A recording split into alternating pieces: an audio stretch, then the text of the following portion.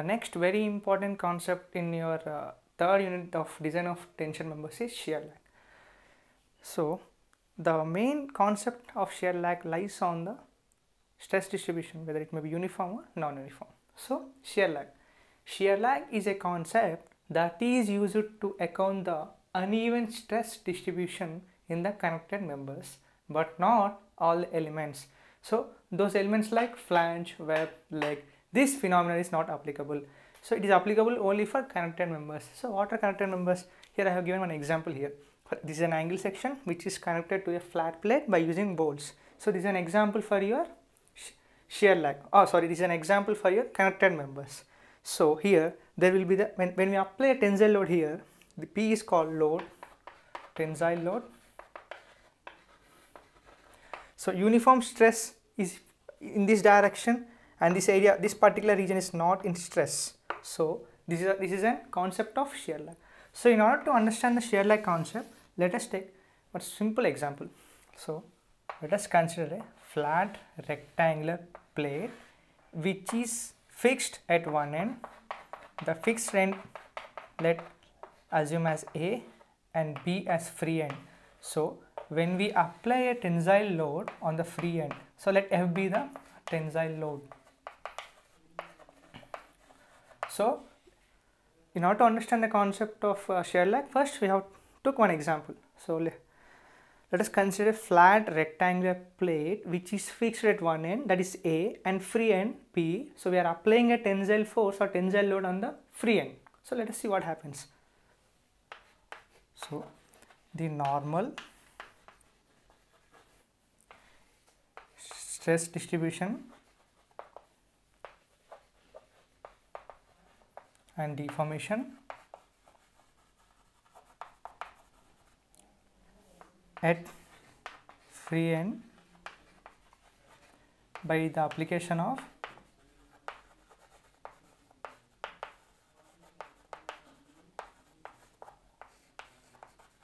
tensile load.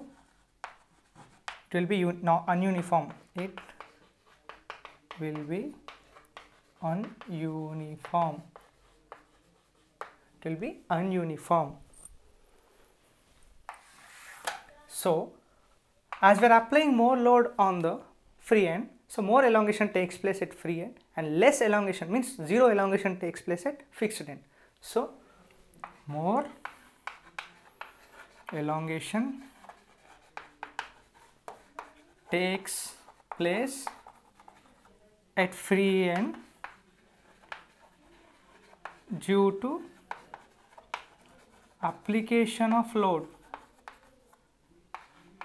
Here load is tensile. And at fixed end at fixed end the elongation is 0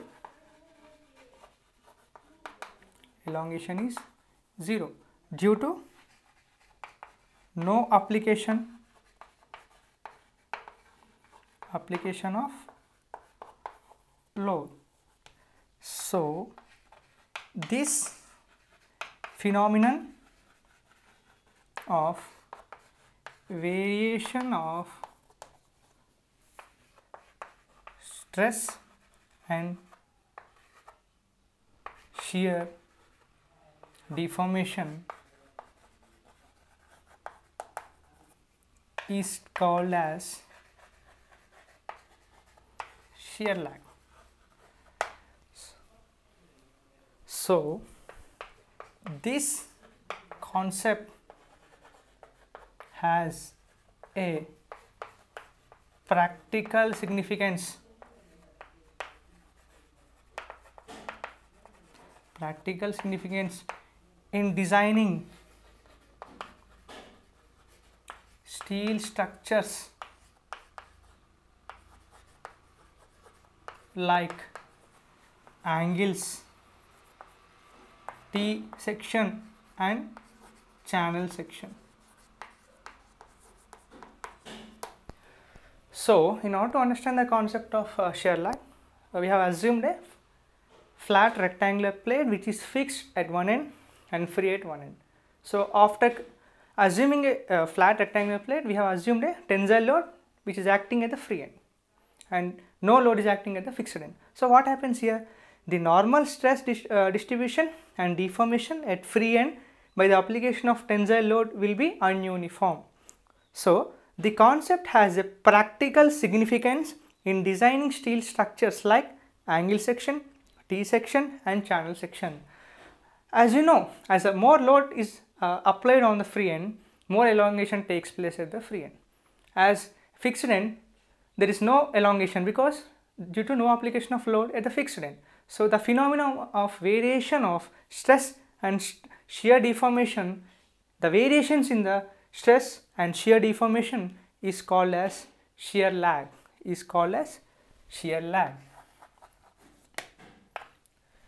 So shear lag is a concept that is used to account the uneven stress distribution in the connected members but not all the elements flange, web, leg etc.